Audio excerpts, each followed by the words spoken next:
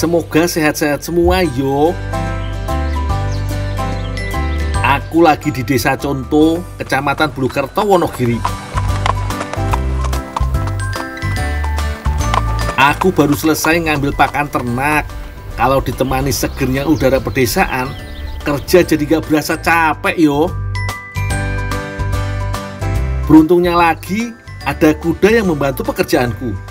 Jadi nggak perlu ngangkut langsung.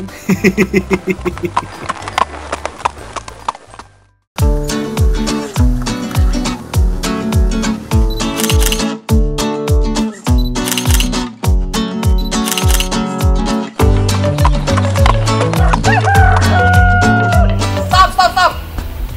Nah, senyum, senyum. Weh, Nah, sopo kuwi? Foto-foto aku, tapi nggak minta izin dulu. Iya nesu, nesu, nesu, nesu, nesu. Lebih ya kok. Nah, ngono nesu, yuk. Satu, eh, Ya jarakku malah kok nesu ya, Mas. nah, nah. Oh, gedek. Ojo gedek. Sik, sik, sik. Mas. Oh. Ah, Mas Gundul, ngomongin sampean tadi bilang kepo, aku kepo sama kegiatanmu hari ini. Aku mau ikut.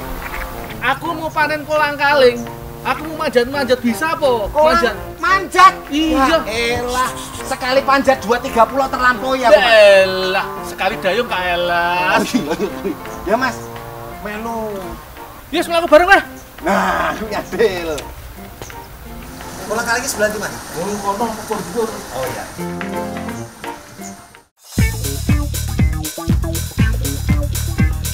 Mas Gundul, Ya. sekarang tunjuk ke mana pohon sing kudu tak penek. Lah lah lah lah. Bentar, dulu aja masih di depan sono. Oh iya. Aku kedatangan tamu spesial dari kota iki lur. Pasti kalian sering melihat warawiri di bioskop dan televisi. Bener banget. Namanya Eric Estrada. Yakin. Yakin banget bidang Berani itu. manjat. Langsung tak panjat, tak tak tak tak tak langsung. Ya. Di, di. Si si si si. si. Iki wetaren kayak lu buah kolang kaling. Nah, coba panjat tau, tak tunggu sini. Mas Gundul, Apa tuh? nyari buah aren yang jangan deket jurang ada nggak? Ya, iki buah banyak gitu loh.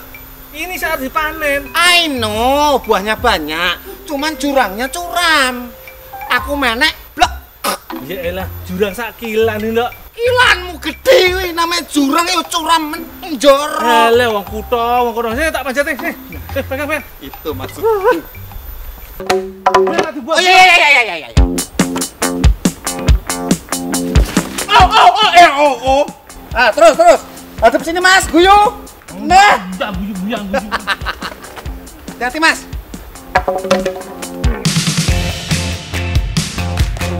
Yalah, ternyata Erik ora iso manjat toh. Yo wis lah, biar aku aja yang manjat, biar aman. Karena memang nggak semua orang bisa manjat pohon aren, butuh orang yang ahli. Apalagi lokasinya cukup curam.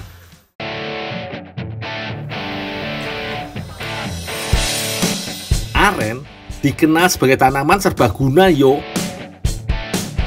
Tanaman aren biasanya tumbuh di lereng-lereng atau tebing sungai. Tingginya hampir mencapai 20-an meter, Lur. Jadi aku harus ekstra hati-hati saat manjat pohonnya. Mas senyum saya mas. Eh, action. Saya saya saya. saya. Nah, kan saya kerja kowe, aku ora. Aku mati. Ono-ono wae tingkah Erik selalu bikin rame suasana. Oke mas, gundul udah dekat. Awas, ratapan tutup.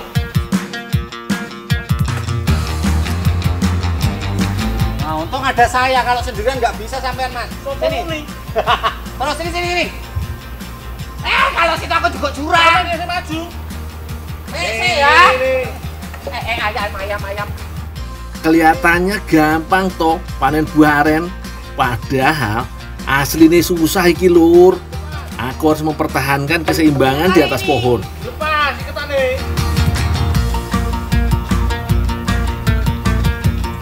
Oke, tarik. Dilepas. Oh, ya bilang dong.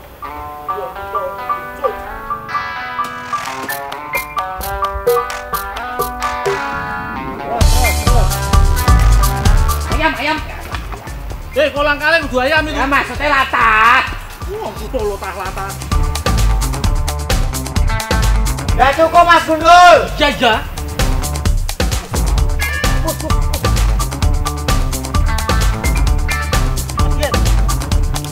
mas hati-hati mas aku saya ngeri Wah, tambah rusuh iki lur.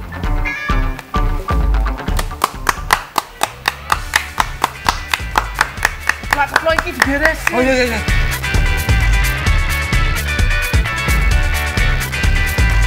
Sekarang dikat dulu bahannya yo, supaya mudah dibawa.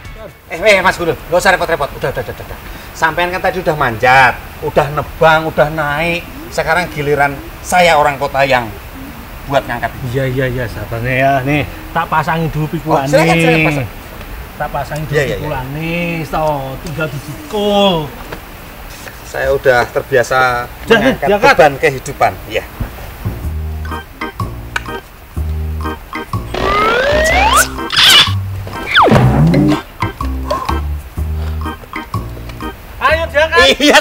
sabar, sabar, sabar, sabar. Ini juga diangkat. Emang ini sih jilat.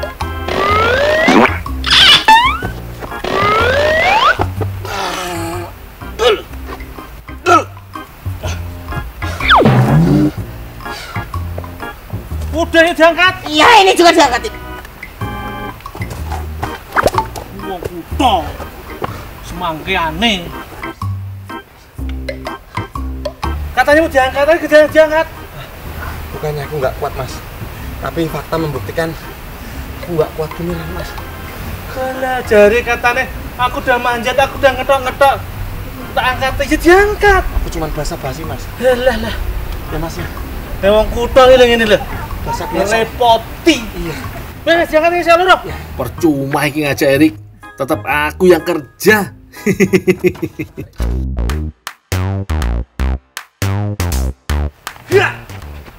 Amazing.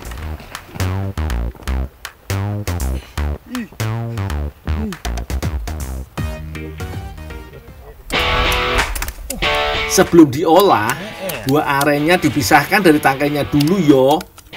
Mas Gundul, Iya, Mas Ari. Mas Gundul tadi kan pas manjat di pohon Oh. eh, ngambil kolang kaling bilang hati-hati sama getahnya karena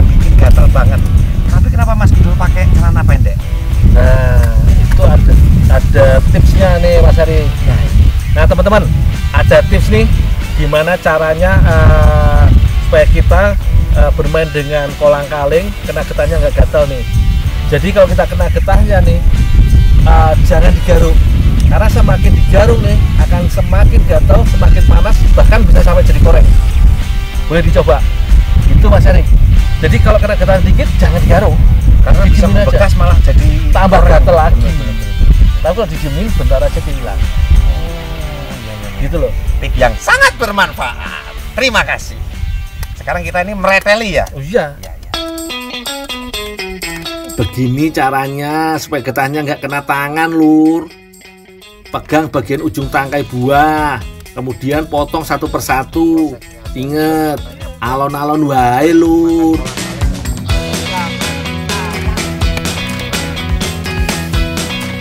Jangan digaruk. Garuk gatel.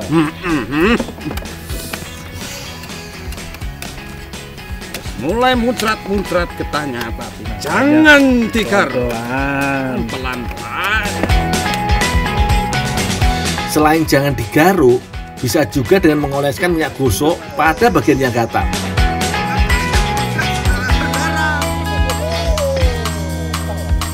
Efeknya mah merah ya mas. Oh iya. Seksi toh? mah malu ini kulitnya. Seksi toh? Ini dia sudah mulai memerah. Jangan digaruk. Panas adem.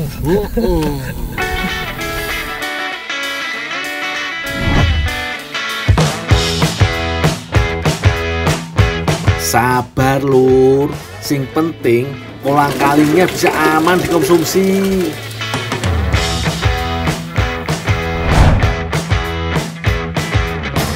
Akhirnya selesai juga penantian tiga jamnya. Sekarang tinggal ngupas buah arennya. Bu, sekarang dikupas tak bantuin kupas nggih. Iya, monggo mas. Mas, ini yang kuning ini kolang kaling apa, Mas? yang kolang kaling super Oh, ini super. kan, ini kan belum di- belum direndam ini kan kecil nanti Bener. kalau direndam jadi gede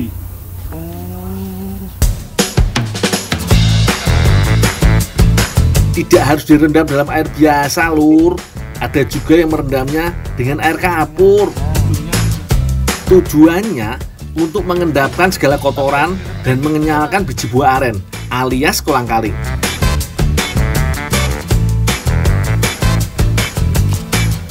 Begini cara ngupas buah arennya, Lur. Potong bagian atas buah, lalu tekan buah dengan alat penjepit tradisional. Nanti kolang kalingnya akan otomatis keluar sendiri.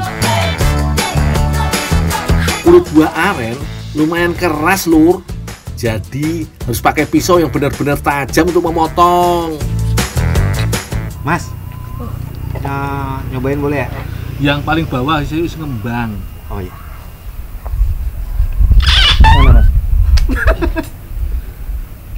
paling bawah baskom bukan di bawahi baskom talking dong, bilang kan tadi saya ngomong yang paling bawah bukan di bawahi Iya, iya, orang iya. kota kota rasa beda lagi ngembang itu berubah jadi besar Oh, yang membesar. Aduh.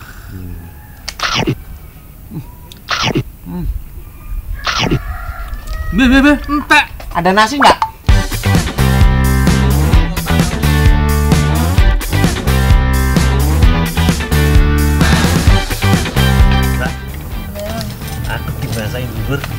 Lo, Mbak. Eh, boleh. Gundol. Mbak, aku yang gelem ya, Mbak. Aduh, baik.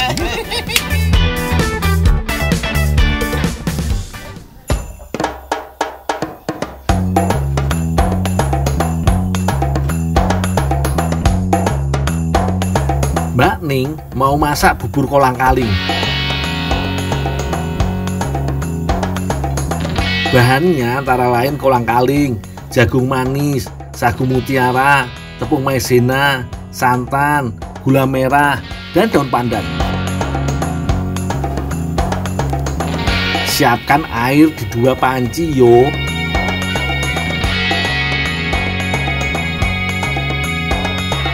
Satu panci kecil untuk merebus sagu mutiara.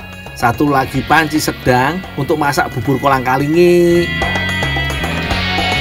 Iris gula merah dan serut jagung manisnya. Masukkan irisan gula merah ke dalam panci sedang. Masak sampai gula larut yo.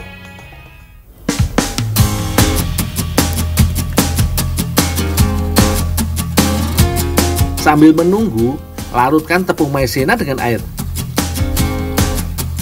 Lalu, masukkan ke panci.